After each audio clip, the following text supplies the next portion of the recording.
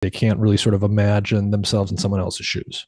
So that's what we thought, I think. Hmm. And maybe psychologists have known this for much longer than me, but um, when I tell you the results of this study, it's kind of wild. So hmm. I would have thought that they aren't able to engage this empathy. They just don't feel for other people. They aren't able to understand what other people are feeling, or they don't care, or something.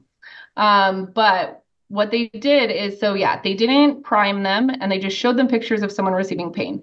And this did not activate the anterior cingulate cortex or the insula or any regions we would think would be involved in empathy very strongly. It kind of was just like engaging like different attentional pathways and that's about it. Uh, but if they put them back in the fMRI and said, we're, or they took a different group of people, I can't remember, but they said, we are studying empathy.